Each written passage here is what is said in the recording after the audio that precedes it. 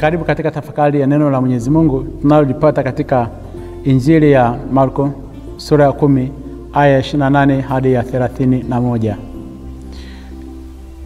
Ni mwendelezo wa Injili ambapo Yesu alizungumza habari za matajiri, ambapo inakuwa ni ngumu sana kuweza kuingia katika ufalme wa mbinguni. Jambo hili liliwashitua sana wale mitume ambao walikuwa wanaambatana na Yesu. Ndipo kiongozi wao Petro akasimama akamwambia Yesu, tazama, tumeacha vyote tukakufuata wewe. Alikuwa na maana gani?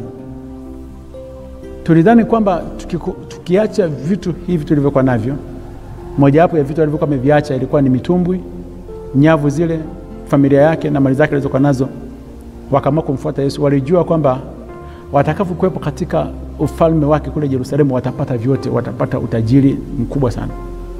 Hasa anasema tumeviacha vyote, tutapata nini? Kama ni ngumu sana kwa tajiri kuweza kuingia katika ufalme wa Mungu.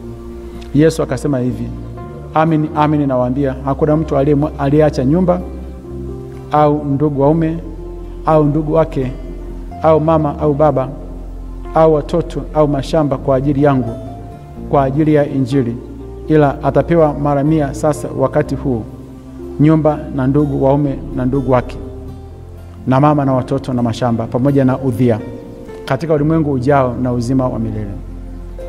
Basi neno hili la Yesu ambalo analowaambia hawa mitume, anawaonyesha kabisa kwamba yeye ana uwezo katika maisha haya ya watu ambao wameacha mali zao, wa ndugu mashamba wakamfuata Yesu, amesema watapata mara mia. Ni kweli, mfano nimekuwa nikiona mimi mwenyewe. Nimetoka huko nyumbani, nimekuja katika safari ya kuweza kumhubiri Kristo kwa ajili ya injili ya Kristo.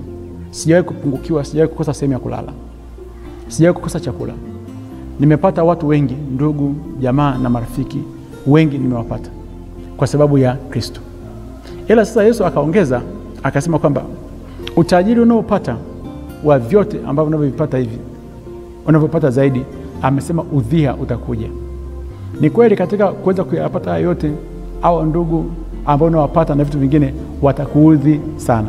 Kwa hiyo katika ni neno la faraja kwa wale ambao wanamtumikia Mwenyezi Mungu, unavyopata maudhi kutoka kwa wale ambao ni ndugu zako katika swala zima la huduma, yapokee, kwa sababu tayari Yesu alishazungumza ila Yesu anatuonya, amesema kwamba wale wa kwanza watakuwa wa mwisho na wale wa mwisho watakuwa wa kwanza.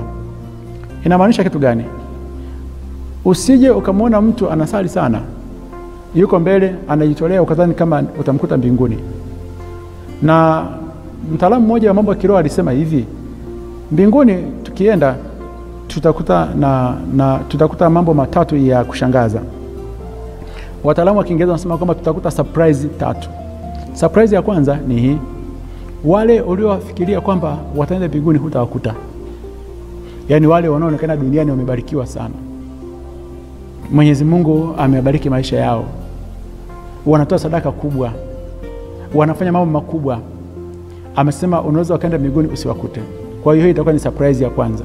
Surprise ya pili, wale watu ambao ulizani kama mbinguni hawatakuwepo utawakuta. Kuna kundi fulani la watu tumewadharau sana, amesema tutawakuta huko mbinguni. Surprise ya tatu ni wewe mwenyewe utakavyoweza kujikuta ukiwa mbinguni. Basi jitahidi sana katika swala zima la kumfuata Kristo. Wa kwanza watakuwa wa mwisho na wa mwisho watakuwa wa kwanza. Akubariki na kulinda Mungu Mwenyezi, Baba na Mwana na Roho Mtakatifu. Amina.